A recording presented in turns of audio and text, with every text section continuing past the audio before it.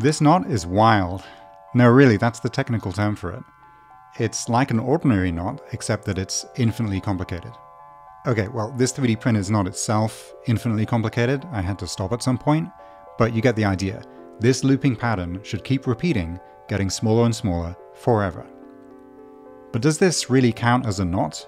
Are we allowed to tie infinitely many tangles in a piece of string? Mathematical knots are like knots you would tie in real life, except that we join the ends of the string together to make a loop so it can't come undone. Okay, there are some other differences as well. Mathematical knots don't usually have any thickness.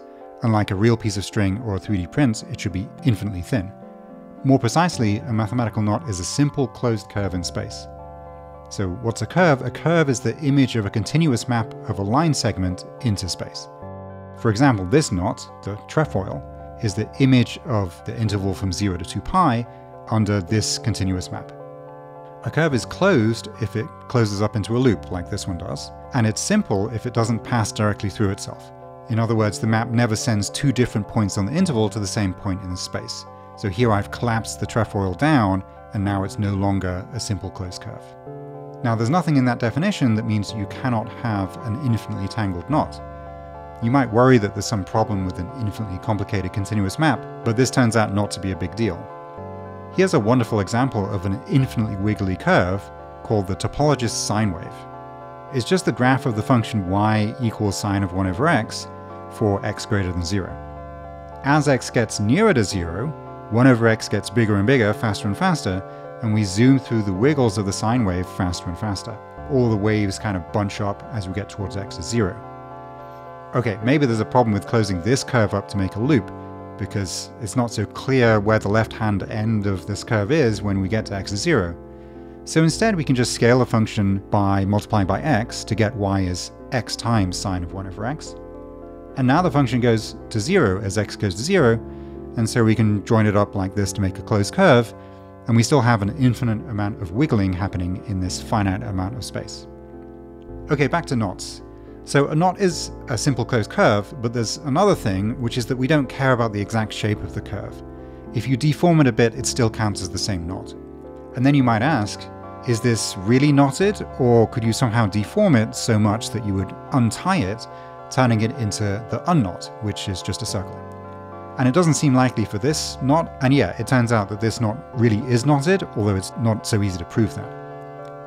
In fact, there are infinitely many knots that are all really different, meaning that you cannot deform one into another, although, again, showing that they're really different from each other isn't so easy. All of these knots are tame, which means that they can be deformed into polygonal loops.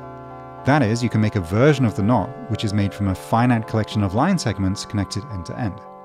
For example, this is a polygonal version of the trefoil knot, made from nine line segments. And the idea is that if you can make a polygonal version of the knot, then it cannot be infinitely complicated, it cannot be wild, so instead it's tame. Here's that knot from the start of the video. Now these tangles go on forever with smaller and smaller loops, so it seems like there should be no way to draw this as a polygon with a finite number of line segments, but it's not that easy to show that this is wild. You know, maybe there's some big complicated way to deform it and somehow get rid of the infinite complexity before you try to make it out of line segments. Our scaled topologist sine wave from before also has infinite complexity in a sense, even though you can just squish that down into a circle, and a circle is just the unknot, which of course can be deformed into a polygon. So even though this knot is infinitely wiggly, it's tame because it's just the unknot. Here's a really interesting example due to a mathematician called Ralph Fox. You could call it a wild slip knot. Just like the other wild knot, it looks like it has infinitely many tangles, but well, we can just start undoing each tangle from the end. If you pull this loop through here, I mean, it just goes away and the knot looks the same as when we started, except that it's one loop shorter. So surely we should be able to just keep doing this, untangle everything, and this is just the unknot. Well, hold on, you might be saying. This is one of those cases where infinity does strange things. It has infinitely many loops, and if you remove one, it still has infinitely many loops. So to untie this wild slip knot, you'd have to do infinitely many unlooping moves. But is that a problem? In Zeno's paradox of Achilles and the tortoise, Achilles and the tortoise are in a race, but the tortoise gets a head start. Achilles is faster, but by the time he gets to where the tortoise was, the tortoise has moved forward a bit. And by the time Achilles gets to that second point where the tortoise was, the tortoise has moved on to a third point, and so on. So Achilles has to do infinitely many things before he can actually overtake the tortoise. But of course, he can overtake. Each step of getting to where the tortoise was happens faster and faster, and he overtakes in a finite amount of time, even though he does infinitely many of these catching up moves. So, can we untie the wild slip knot? We would have to do infinitely many unlooping moves, but if Achilles can do it, why can't we? This gets very subtle, and now we have to be really careful about what it means to deform a knot. It turns out that with the precise mathematical sense of deform, you cannot untie this wild slip knot.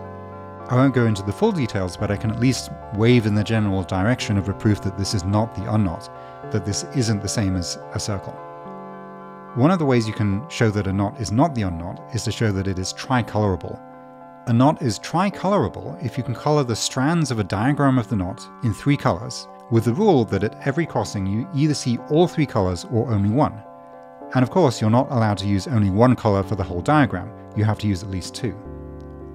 This diagram of the trefoil knot is tricolorable, and if you start moving the knot around to change the diagram, doing Reidemeister moves, as they're called, it stays tricolorable. But this diagram of the unknot is not tricolorable, there's only one strand to color in, and we have to use at least two colors. So the unknot is not tricolorable. The trefoil is tricolorable, so they must actually be different knots. And it turns out that our wild slip knot can be tricolored. Here's how you do it. Well, maybe this is not such a satisfying argument for why the wild slip knot cannot be untied. The usual justification for why tricolorability is an invariant of the knot is that if you do any finite sequence of these Reidemeister moves, you either stay tricolorable or you stay not tricolorable. But no finite number of moves is going to undo the wild slip knot anyway, and it isn't so clear how to keep track of tricolorability when you do some infinite sequence of moves. But there's another, more technical way to think about tricolorability. Rather than coloring the strands, you think about the loops that go around the strands back to some fixed base point. You can multiply loops together just by doing them one after another, and it turns out that these loops form a group called the fundamental group of the complement of the knot. The fundamental group is calculated in terms of the topology of the complement, which means that it doesn't depend on the diagram, so there's no argument involving finitely many Reidemeister moves. To show that this wild knot is not the unknot, all we have to do is show that its fundamental group is not the fundamental group of the unknot. That is, we have to show that it is not the group of the integers. You can do this by showing that there is a non-trivial homomorphism to a non-commutative group, because the integers form a commutative group. For us, that group will be the simplest possible non-commutative group, the group of symmetries of an equilateral triangle. The relations among the loops in the fundamental group come from the crossings of the knot. If you go around the overstrand, then one of the understrands, then the overstrand in the other direction, and then the other understrand, then you really didn't go around anything. This is one of the relations of the so-called Wirtinger presentation. So let's do that same relation with the symmetries of the triangle. Let's send the three colors of our tricoloring to the three reflection axes like this. First we flip across the green axis, then the blue axis, then green again, and then finally red. And we end up back where we started. So the relations of the fundamental group also hold when mapped to the symmetries of the triangle, and we have a non-trivial homomorphism to those symmetries. So that means that the group we started with could not have been commutative. So it could not have been the integers, and so the wild slip knot could not have been the unknot. It isn't the unknot. Okay, that's it. Uh, thanks to my collaborator Saul Schleimer for working this out with me, and thanks to you for watching.